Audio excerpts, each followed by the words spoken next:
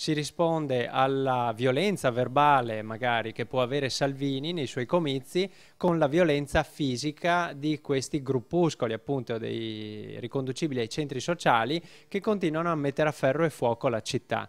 Questi atteggiamenti di violenza e anche di lancio di bombe carta, di fumogeni sono inaccettabili. La futura amministrazione 5 Stelle non avrà tolleranza per questi episodi di violenza e eh, sicuramente ci costituiremo parte civile nel caso in cui eh, vi siano episodi di danneggiamento alla cosa pubblica, perché spesso sono stati coperti politicamente e anche questo è inaccettabile. Alcune forze politiche hanno coperto queste frange eh, violente in città ed è inaccettabile. Non, eh, in futuro non sarà più così e cercheremo assolutamente di limitare i loro appunto eh, i loro atteggiamenti di violenza come anche i loro fenomeni di occupazione delle case pubbliche.